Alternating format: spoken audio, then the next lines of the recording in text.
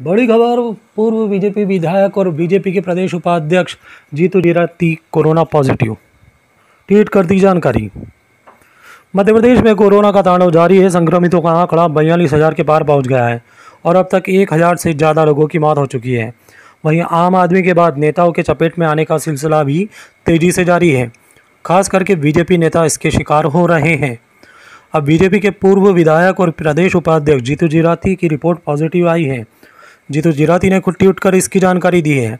जीतू जिराती ने ट्वीट कर लिखा है कि मुझे एक दो दिन से जुकाम व बुखार था।